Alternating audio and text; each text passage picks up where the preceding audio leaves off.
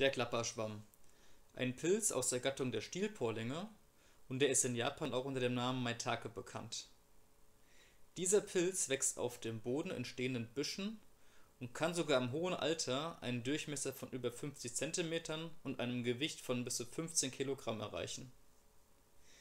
Der dicke Stiel des Pilzes verzweigt sich in viele dünnere Äste, die wie flache Hüte aussehen und stets seitlich an diese ansetzen, was man hier auch gut erkennen kann.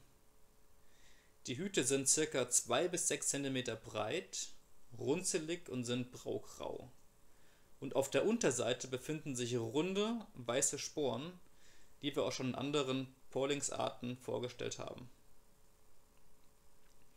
In Deutschland ist der Klapperschwamm sehr selten geworden und zunehmend gefährdet. Denn uralte Eichen, an denen er wächst, gibt es kaum noch, da das Totholz immer wieder aus den Wäldern beseitigt wird.